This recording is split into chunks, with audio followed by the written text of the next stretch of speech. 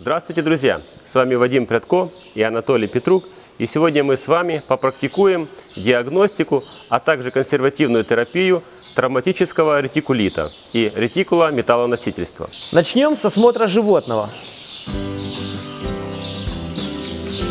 Обращаем внимание на яремную вену. При травматическом ретикулите она переполнена и выделяется. Могут быть отеки межчелюстного пространства и подгрудка. Синюшность слизистых оболочек. Проводим аускультацию сердца.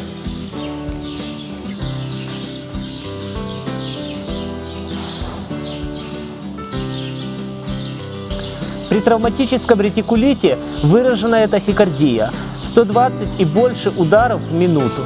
Также фиксируем тахипное 40-50 дыхательных движений в минуту. Проведем функциональные пробы.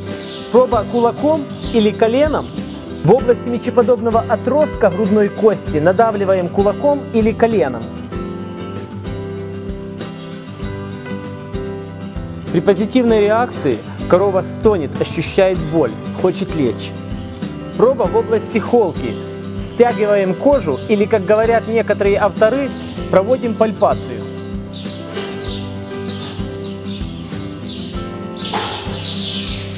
При позитивной реакции корова изгибается, хочет лечь. Но проба это условная, так как и здоровая корова при стягивании кожи тоже изгибается. А также одна из проб – это свести корову из пригорка вниз. При позитивной реакции корова ступает осторожно, хочет лечь. Для диагностики и терапии травматического ретикула перикардита также используют магнитный зонд. Сейчас мы редко используем магнитный зонд, чаще магнитные ловушки. Магнитный зонд нужно вводить с утра натощак, держать не менее одного часа. При этом нужно корову погонять по горбистой местности. Можно исследовать мочу. При ретикулите в ней появляется белок и повышается кислотность. И, наконец, магнитные ловушки. Их можно вводить как коровам, так и нетелям с диагностической, профилактической и лечебной целью. По некоторым рекомендациям их можно вводить всем коровам в стаде во время запуска.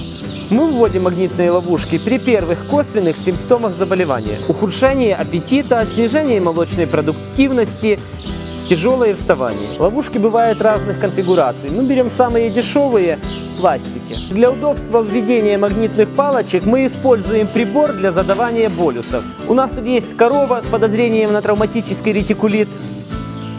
Помещаем ловушку в контейнер и проводим манипуляции.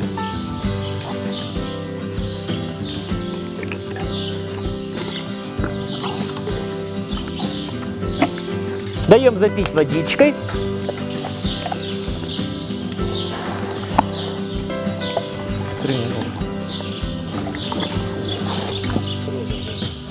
Всех коров, которым мы ввели ловушку, фиксируем в программе.